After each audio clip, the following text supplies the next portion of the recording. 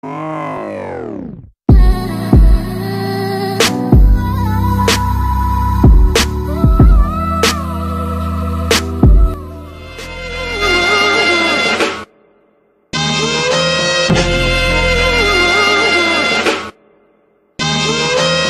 listening to the sounds of Stockton Productions.